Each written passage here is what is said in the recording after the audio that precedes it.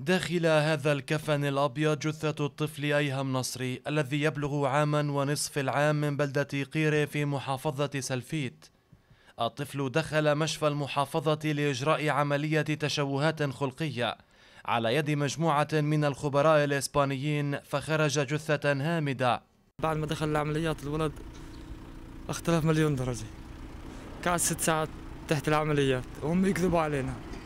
عشر دقائق وخمس دقائق بعدين طوشنا نحن وياهم جابوا لنا الشرطة اللي في سلفيت. وبالآخر أحكوا مع عم إنه أعطوه شحنات كهربائية وبدنا نطلعه على رفيدة في نابلس. ما وصلنا رفيدة الولد له مستوى تعبان ما قدروش يعطوه شيء حطوه على أجهزة الساعة خمسة الصبح. الله يسلم خطأ طبي أكيد.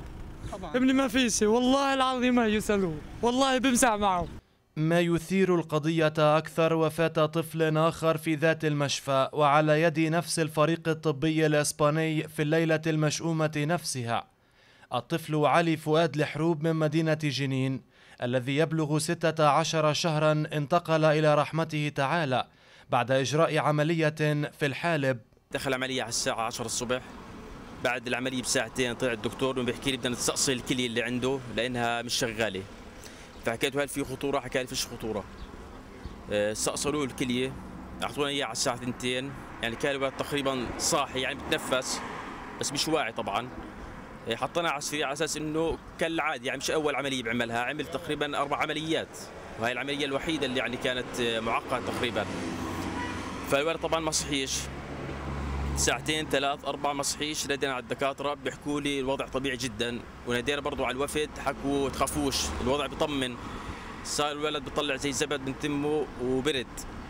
نادينا على الدكاترة بيحكوا الوضع طبيعي جدا فيش أي مشكلة فيش تنفس عنده صار. نادينا على الدكاترة حاولوا إنهم يسعفوه.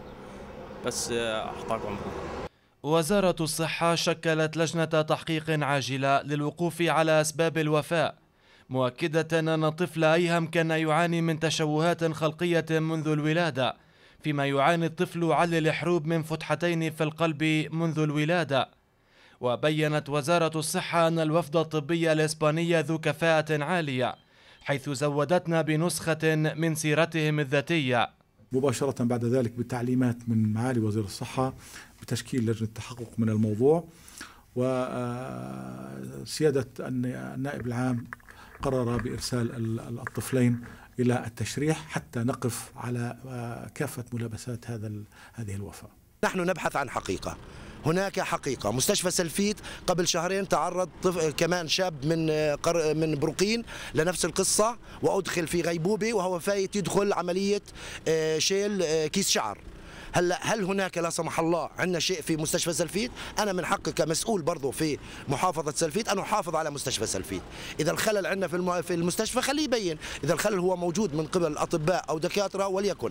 وأمام التناقض في بعض التصريحات الصادرة عن الكادر الطبي وأهالي الأطفال فإن القضية لن تحسم إلا بتقرير الطب الشرعي الفلسطيني. بعد أن تم تشريح الأطفال في كلية الطب داخل جامعة النجاح في مدينة نابلس وسيصدر التقرير الرسمي في وقت لاحق غير محدد بعد لتبقى الحقيقة معلقة إلى ذلك الحين. من محافظة سلفيت نزار حبش تلفزيون وطن.